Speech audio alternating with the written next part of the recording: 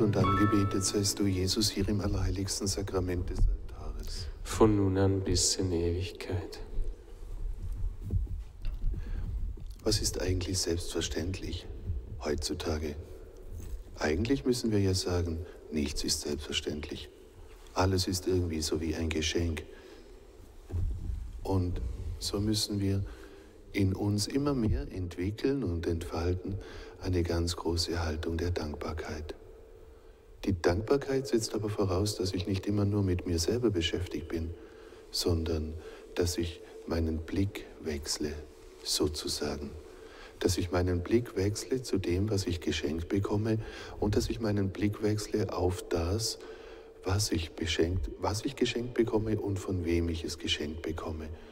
Und wenn ich diese Haltung der Dankbarkeit so in mir habe, dann wird mein Leben ganz anders, weil ich lecke dann nicht immer meine eigenen Wunden. Ich bin nicht immer nur mit mir selber beschäftigt. Es dreht sich nicht alles immer bloß um mich. Ich bin nicht ständig der Nabel der Welt.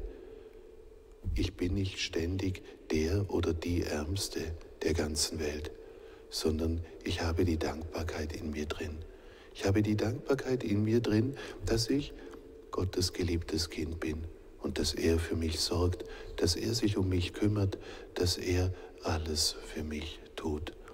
Und diese Dankbarkeit, diese Haltung der Dankbarkeit, um die können wir heute wirklich einmal so bitten.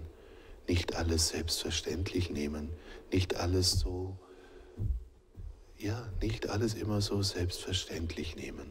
Schon allein das, dass ich heute Morgen hier zum Beten sein darf, dass ich aufgewacht bin, dass ich hier bin, das ist doch schon einen Dank wert. Und da wollen wir Gott danken dafür und ihn um seinen Segen bitten.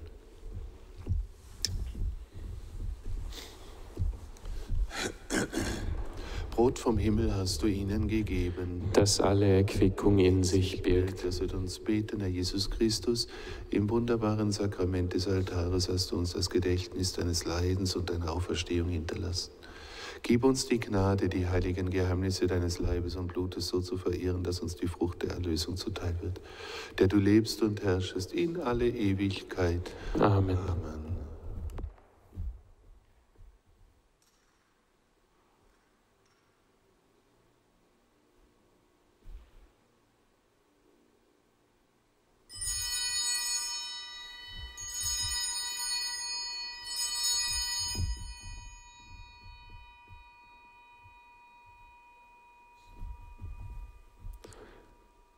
Gelobt sei Jesus Christus.